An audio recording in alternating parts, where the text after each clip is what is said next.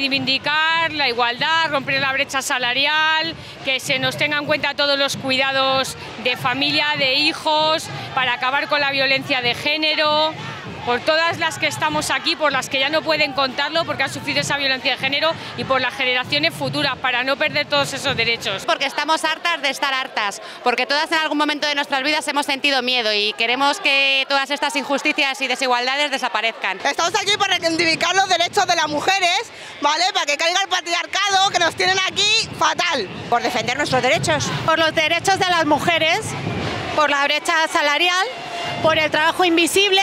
Son más de mil motivos. Podemos seguir así mucho tiempo. Es que tenemos mil reivindicaciones. Entonces, eh, abolir el patriarcado, fuera machismos, fuera violencias y que podamos salir a las calles tranquilas y libres. Sobre todo la económica. Que tenga la igualdad para subir de puesto.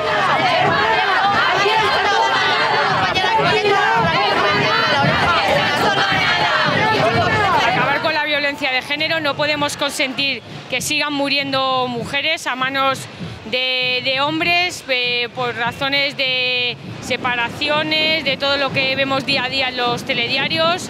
Luego yo creo que es muy importante también el que podamos como mujeres desarrollar nuestras carreras profesionales, que no nos veamos estancadas por tener que cuidar a la familia, que es importante, pero que también los hombres se impliquen y que podamos crecer laboralmente, que no tengamos miedo a salir a la calle, y yo creo que esas son las principales reivindicaciones. Que tengamos mejores salarios, por ejemplo, que eso está muy mal, que cobremos menos, que cuando estemos embarazadas tengamos las mismas oportunidades que tienen los hombres, que se rompan las cúpulas de cristal. Por evitar la violencia hacia las mujeres, por la violencia institucional y por la igualdad entre hombres y mujeres en todos los ámbitos.